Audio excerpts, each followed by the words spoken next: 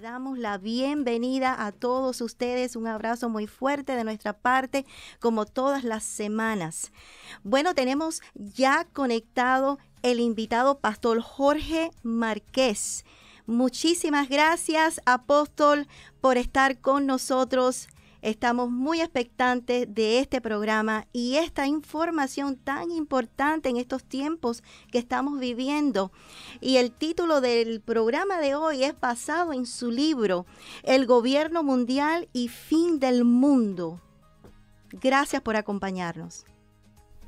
Eh, bueno, muchas gracias por esta oportunidad, Elaine. Muy complacido de poder participar con OBM la audiencia de OBM y les cuento que me estoy, mientras ustedes me hacen estas preguntas, yo también estoy saliendo al aire por en mi programa habitual de lunes eh, a viernes a las 11 de la mañana a través de MBTV, a través de mm, eh, Facebook, mi fanpage, eh, Jorge Márquez Uy, a través de YouTube también eh, de, la Iglesia Misión Vida para las Naciones. Así que es un programa, un programa compartido. Esperamos que salga todo bien, ¿no? Y quiero saludar ante todo a su audiencia Muchísimas gracias por sintonizar en este tiempo. Estamos haciendo, como dijo el apóstol, algo muy diferente, pero siempre es para glorificar a nuestro Dios. Un tema tan importante, tan interesante. Yo creo que todo el mundo está en la expectativa de lo que la Biblia ha proclamado, decretado por tantos años, apóstol. Y la primera pregunta tiene que ver con la evidencia existente acerca del gobierno mundial y el fin del mundo. Habla del anticristo en los últimos días.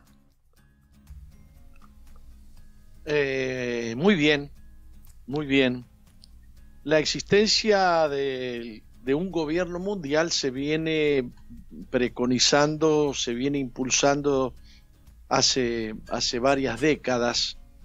Este, y se conoció como un movimiento que mencionaba el nuevo orden mundial el nuevo orden mundial o New World Order, eh, lo ha mencionado la ONU, lo ha mencionado la OEA, lo, lo, impulsan sin que la gente entienda qué es el nuevo orden mundial o sin entender que hace alusión a un gobierno mundial, lo han venido eh, promoviendo personalidades del Banco Mundial, eh, del Banco Interamericano de Desarrollo, lo han venido mencionando estadistas internacionales y por sobre todas las cosas lo han mencionado en su, en su discurso personalidades poderosas de la economía mundial, que son los que están gestando el gobierno mundial.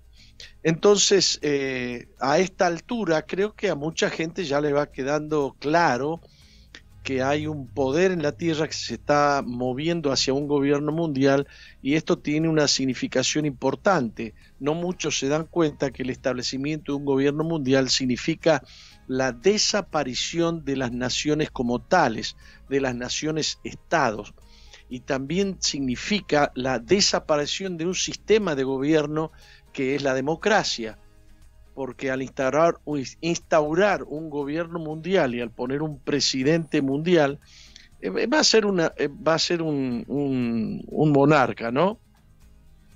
Este, el solo hecho de que haya personas con poder económico, influencia geopolítica que promueven el gobierno mundial, habla a las claras de que estamos en camino a un gobierno mundial. Ahora, ¿qué tiene que ver esto con la Biblia? Bueno, la Biblia ha profetizado la existencia de un gobierno mundial. Ah, y usted dirá, bueno, pero si viene este gobierno mundial, ¿será este el que profetizó la Biblia? Y yo le tengo que decir eh, que no me cabe la menor duda, porque la Biblia no profetiza dos gobiernos mundiales ni tres gobiernos mundiales. La Biblia profetiza un solo gobierno mundial y profetiza después de ese gobierno mundial el fin del mundo. O sea, ahí, ahí tiene ligado, digamos, el, título de, mi libro, ¿no?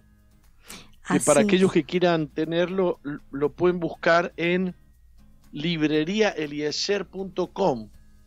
Libreriaeliezer.com. Pueden buscar este mi libro, que yo lo tenía por acá y ahora no lo encuentro. Acá está. Gobierno Mundial y Fin del Mundo. Y dice en la tapa el entramado oculto detrás del próximo gobierno mundial y su conexión, yo no sé si se ve acá. Sí, apóstol, se puede ver. Muchísimas gracias para que la de ella pueda ver su, libro. Y su conexión con la destrucción del, eh, del planeta. Este, en la Biblia, por supuesto que el gobierno mundial está ligado a un gobernante mundial y que estamos previendo, según la Biblia, que ese gobernante mundial va a ser un déspota mundial. Mm. Y que es eh, identificado en la Biblia eh, como el anticristo. ¿Quién es el anticristo? Es un suplantador, es un falso Cristo, es un falso Mesías que promete una falsa paz y que pretende eh, engañar al mundo diciendo que le lleva a un nuevo, a una nueva época, eh, como dicen las Naciones Unidas, de paz y seguridad. Las Naciones Unidas tienen todo un, un, este, un departamento que se dedica a publicar cosas acerca de la paz y la seguridad. Y la Biblia también habla de paz y seguridad. Dice que cuando ellos proclamen paz y seguridad, vendrá calamidad repentina este, sobre ellos, ¿no? Para algunos que quieran tomar nota, este, el libro de Daniel identifica a este gobierno mundial e identifica también el gobernante mundial, que está ligado al gobierno mundial. mundial. El hecho de que va a haber un gobierno mundial está estrictamente vinculado a un gobernante mundial. Y en la Biblia hay un solo gobierno mundial y hay un solo gobernante mundial. Así que yo no sé si queda claro lo que estoy diciendo, Elaine. Sí, definitivamente. Es un comienzo a una profundidad eh, bíblica, una profecía eh, bastante fuerte, pero ya las personas a través de esta situación que el mundo entero está pasando, tienen como ese anhelo, esa necesidad de entender un poco más de lo que el Señor ha estado hablando todos estos años. Ahora yo quisiera traer esta pregunta a conversación. ¿Qué eventos acontecerán sobre la faz de la tierra? Antes de contestar a esa pregunta, quisiera hablar un poquito más de la primera. Ok. Un poquitito más. Eh, porque eh, les dije que está identificado ese gobierno bien en la Biblia. Por ejemplo, en el capítulo 7 de Daniel, Daniel es uno de los que identifica este gobierno y este, y, este gobernante. En el capítulo 7, versículo 23, dice la Biblia que el reino de la cuarta bestia tiene que ver con, con cuatro bestias que vio Daniel. Y la cuarta bestia dice que era diferente a las otras tres primeras y dice que esta bestia era poderosa, eh, será diferente a todos los otros reinos y, y a toda la tierra devorará, trillará y despedazará. Esta es una descripción que hace Daniel de cómo va a ser este gobierno mundial. No ha habido ningún gobierno mundial, no ha habido ningún imperio que haya podido gobernar a todas las naciones en el mundo, pero esta dice este va a ser un gobierno, un reino que va a devorar toda la tierra, va a trillarla y va a despedazarla.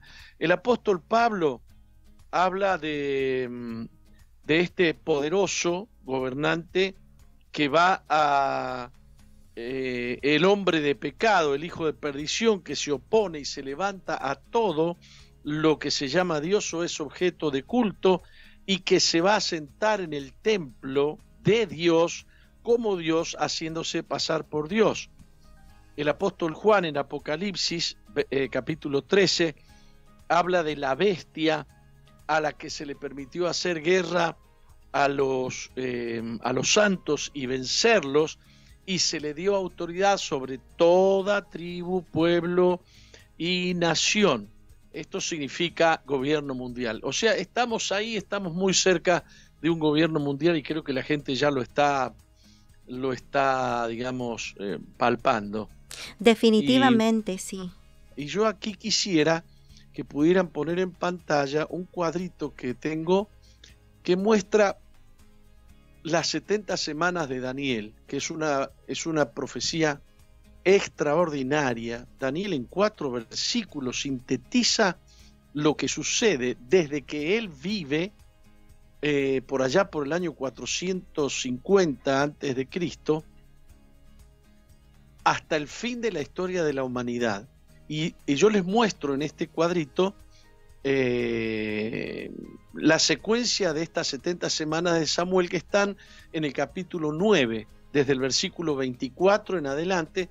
Cuatro versículos describen la historia total de la humanidad hasta que se consuma la historia de la humanidad. Y en ese cuadrito hay tres flechas arriba eh, y me, detengo en la del medio. Nosotros estamos viviendo aquí en lo que eh, Jesús llamó el tiempo de los gentiles o los tiempos de los gentiles. Eh, y dijo que él no iba a, volver hasta que el tiempo de los gentiles, esto está en Lucas capítulo 21, versículo 24, y también el apóstol Pablo describe esto en Romanos 11, 25, hasta que haya entrado la plenitud de los gentiles. Es un periodo de tiempo que lleva dos mil años y que cuando, que cuando termine este periodo va a comenzar el periodo de la última semana de Daniel. Daniel habla de 70 semanas de historia que son interrumpidas por este paréntesis que se llama el tiempo de los gentiles. Y de esa historia de 70 semanas falta que se cumpla la última, la número 70. Cuando se desate históricamente el inicio de la semana 70 de Daniel, y esto significa siete años, porque eh, Daniel está profetizando acerca de semanas de años, o sea que una semana equivale a siete años. Y él habla de 70 semanas. El primer periodo está a la izquierda del cuadrito y habla de 69 semanas, que lo divide en siete semanas y 62 semanas, que completan 483 años. Nosotros estamos ahora viviendo en el tiempo de los gentiles, que es el tiempo de la gracia, es el tiempo que se le ha dado de oportunidad a los gentiles, en, la que se predica el Evangelio a, a, toda, para testimonio a todas las naciones, dijo Jesús en el capítulo 24 de Mateo, y entonces dice Jesús, vendrá el fin. Habacuc dice que la visión, Dios le manda a escribir en tablas la visión y dice que esa visión se apresura hacia el fin. Una vez que se desate el último periodo de la historia, que es la semana número 70 de Daniel y que está ahí en Daniel capítulo 9, 27, comienzan los siete últimos años de la historia de la humanidad. Eh, y yo quiero, usted me pregunta, ¿qué cosas van a acontecer?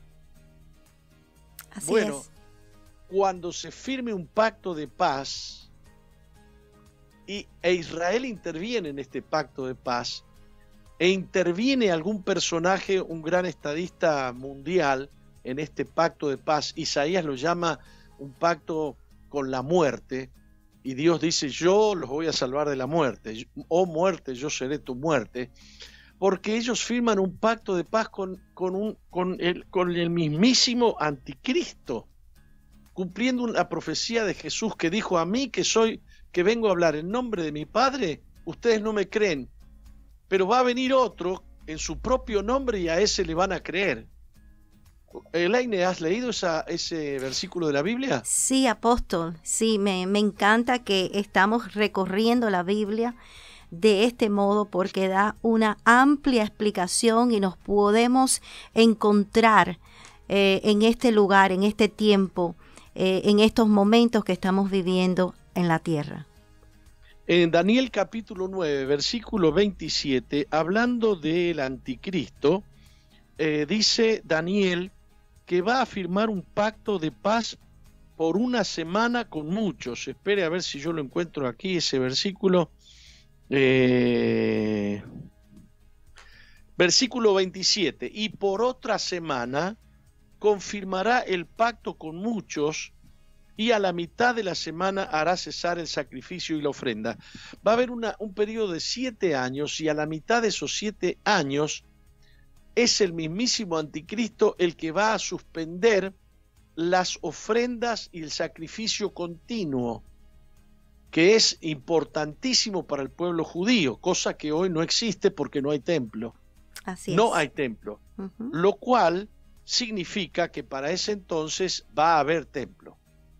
Quiero destruir una doctrina que se llama la doctrina de la inminencia de la venida de Cristo. Hay muchos que predican y dicen, esta noche puede venir Cristo. Yo les quiero decir que no, que Cristo no va a venir si no se cumplen las cosas que Él ha profetizado que van a suceder.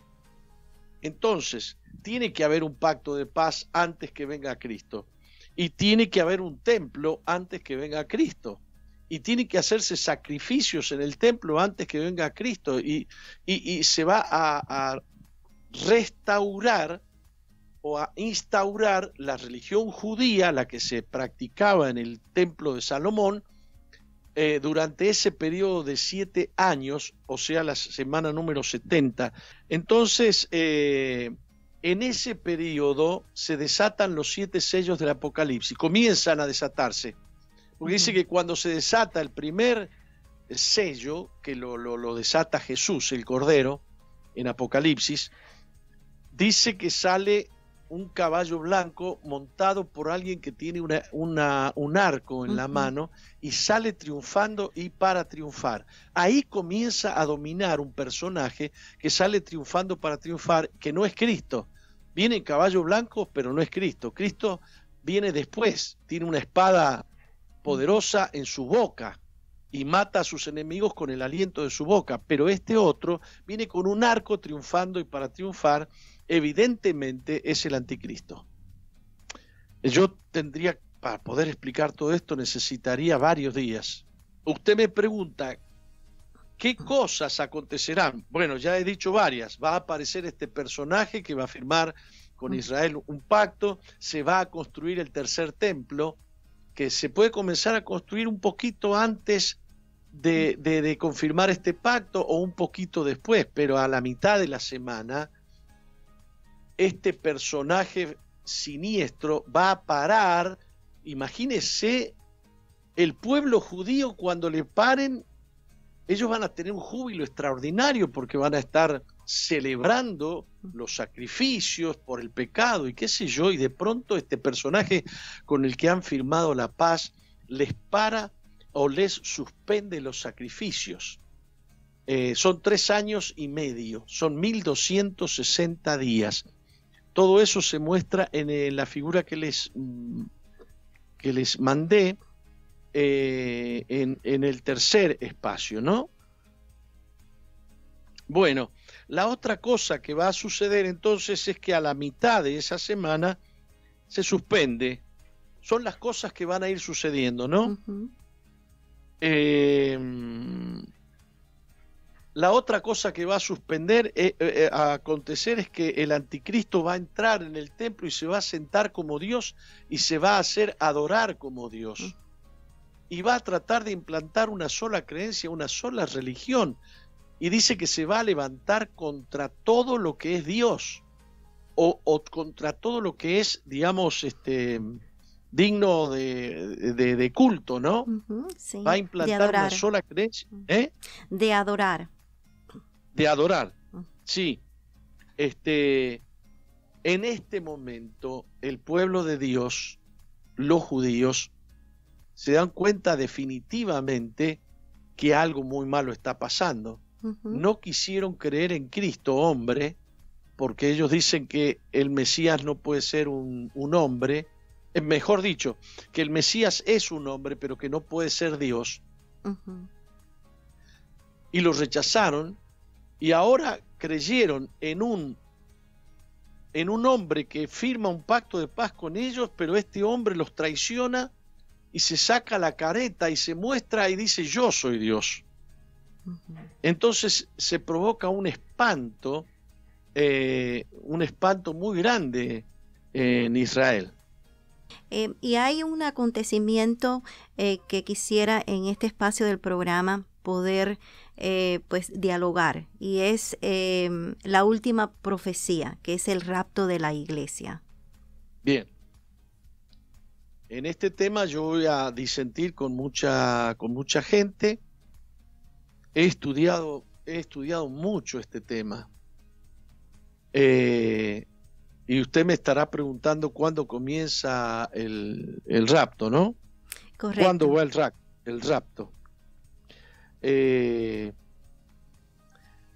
quien quiera entender bien esto tendrá que leer detenidamente el capítulo 24 de, de Mateo, porque Jesús lo explica todo cronológicamente, paso por paso, y utiliza adverbios de tiempo o, por ejemplo, les voy a leer, les voy a leer un versículo que está en Mateo capítulo 24, donde Jesús relata los acontecimientos, qué sucede antes y qué sucede después. Yo para convencerlos a ustedes de esto tendría eh, mucho que, que, hablar con ustedes, pero es difícil hacerlo en tan poco tiempo. Pero, por ejemplo, el versículo 29 de Mateo 24, Jesús dice, e inmediatamente después de la tribulación de aquellos días. Unos versículos antes Jesús está diciendo, vendrá una tribulación tan grande, una gran tribulación, dice Jesús, como nunca la ha habido antes. Habla de una gran tribulación. Después dice Jesús mismo, inmediatamente después de esa tribulación, entonces si utiliza el adverbo después es porque va a suceder después de la gran tribulación, el sol se oscurecerá y la luna no dará eh, su resplandor y las estrellas caerán del cielo y las potencias de los cielos serán conmovidas. Yo voy a pedir que pongan la placa número 3 que es parecida a esta que pusimos al principio y que me puede mostrar mejor lo que yo quiero enseñar ahora.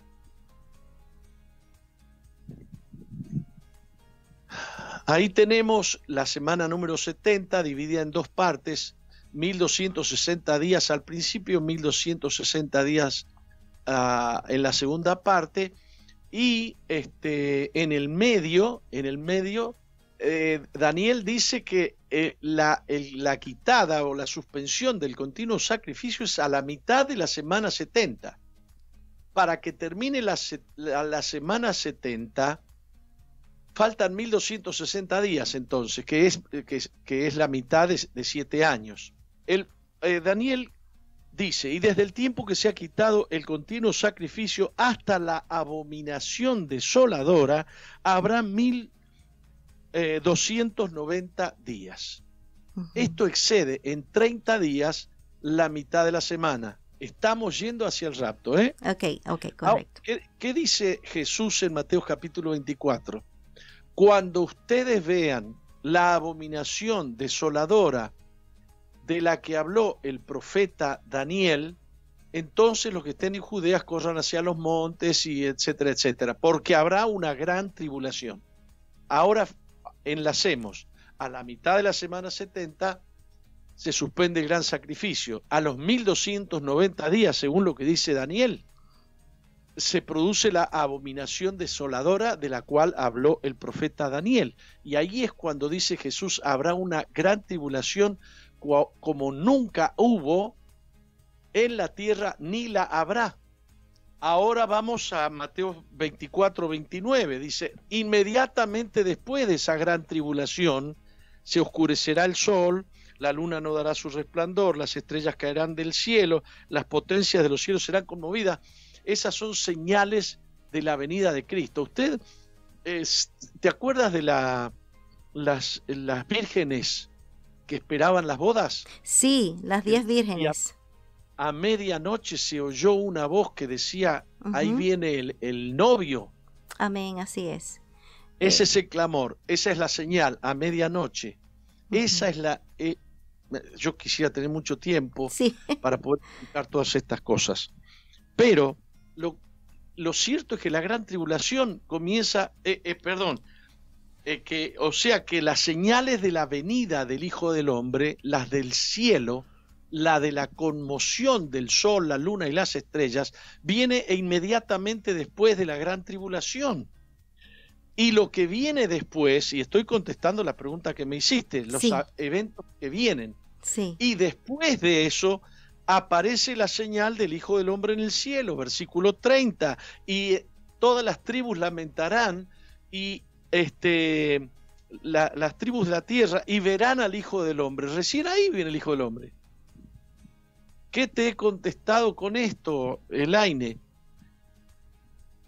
que Jesús viniendo en las nubes ocurre después que el anticristo está gobernando acá, después que el anticristo suspende el continuo sacrificio, después a los 1290 días que la abominación desoladora es instaurada, y ahí comienza la gran tribulación, y entonces inmediatamente después de la gran tribulación dice Jesús que se conmueven las potencias de los cielos y después se ve a Jesús viniendo en las nubes a buscar a su pueblo.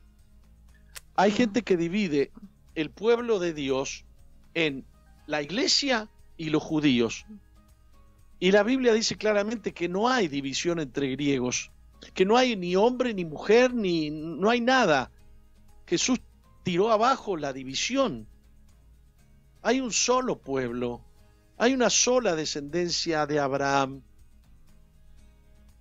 Eh, si yo tuviera tiempo explicaría que estos son días terribles para Israel, pero son los días de arrepentimiento de Israel. Está profetizado que va a ser salvo. Y en, esta, en este cuadro que he pedido que muestren, aparecen tres fiestas ordenadas por Dios. La primera se llama Yom Teruah, la segunda se llama Yom Kippur y la tercera se llama Sukkot. Estas tres fiestas que se llaman las fiestas de otoño profetizan la venida de Cristo.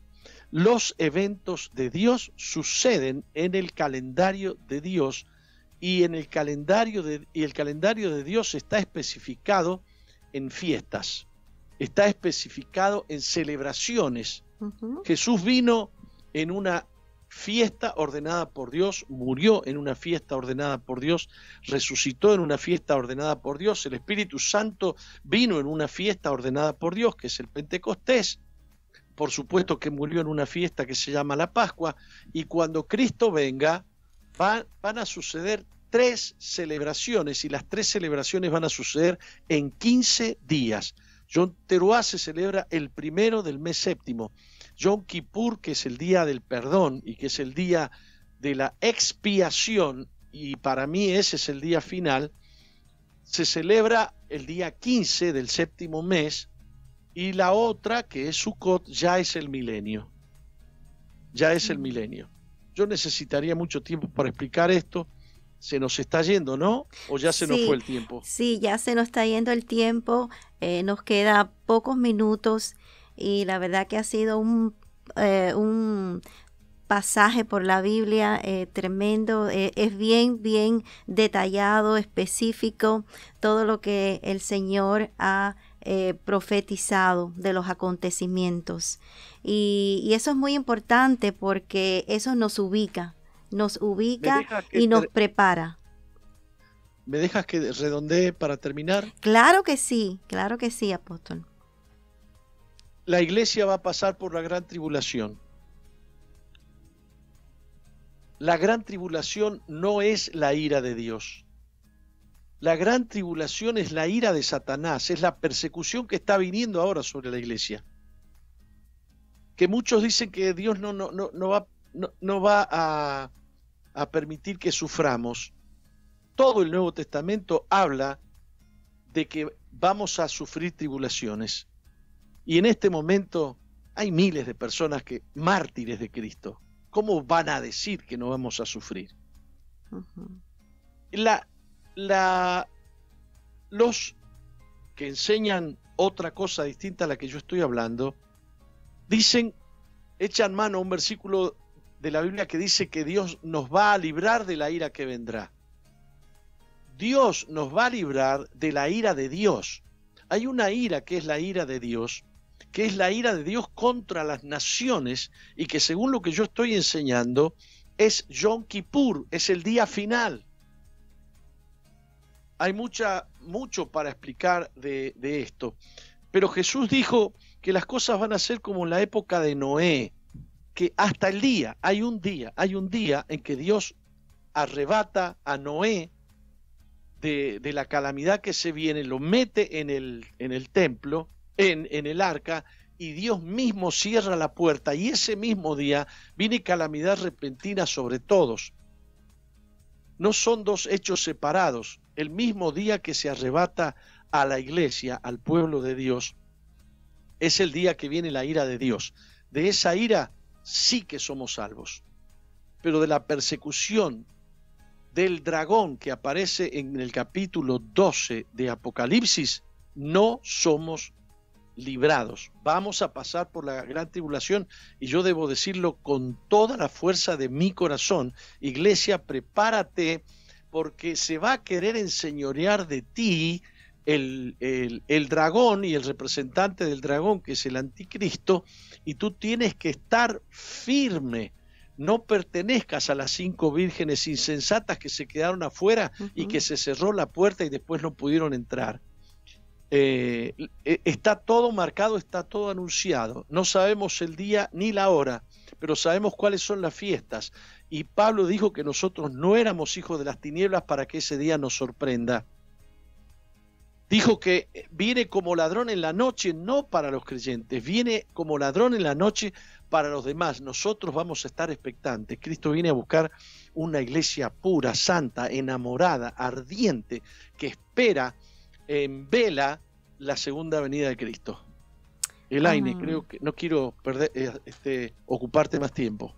Muchísimas gracias, apóstol, y qué importante es en estos tiempos el arrepentimiento, arrepentirnos y volvernos hacia el camino que Dios ha trazado para nosotros, para que todos estos acontecimientos estemos bien alertas y bien conscientes de todo lo que ha de suceder para cuando nos sorprenda la llegada de Cristo nos vayamos todos con Él.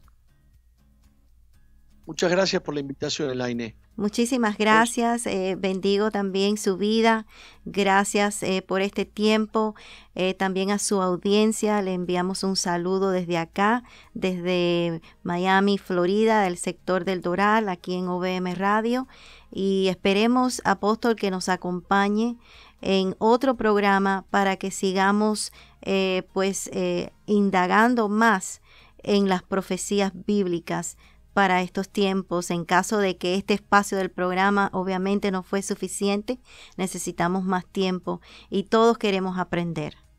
Yo eh, estas enseñanzas las he dado en siete días. O sea que te he hecho un resumen acelerado impresionante en media hora, en, bueno, 45 minutos creo que hemos estado. Eh, pero realmente hay muchísimo fundamento bíblico para, para certificar que lo que yo hoy les he dicho es como se los he enseñado. Amén. Muchísimas gracias nuevamente y como le dije a toda la audiencia, esperemos verlo en otra oportunidad de programa para que nos siga eh, pues abriendo la palabra de Dios y enseñando lo que ha de acontecer y lo que dice Dios en su palabra. Muchísimas gracias a todos ustedes. Eh, los invito el próximo miércoles a las 8 de la noche. Este programa volverá a salir al aire. Vamos a estar mostrando eh, muchas de las imágenes que ahora en vivo no se pudieron mostrar porque estamos en vivo. Pero en el programa editado sí va a estar toda esa información que el apóstol e explicó muy cautelosamente, muy específicamente, para que nosotros abremos nuestro entendimiento y podamos caminar eh, sobre esta uh, época, este tiempo, con mucho más eh, paz, con mucha más tranquilidad de que estas son cosas que el Señor tiene eh, bajo su mando y no nos debe de sorprender, sino de estar alineados a Él y muy importante eh, que las personas eh, pues se puedan arrepentir, que puedan otra vez unirse al Señor de una manera que puedan sentirse eh, que el Señor está en control y de que todas las cosas Él lo obra para bien, porque hay un propósito mayor, hay un destino mayor para todos nosotros y es con Él. Yo le digo chao, chao a mi audiencia que me está escuchando en este momento. Bendiciones. Bendiciones.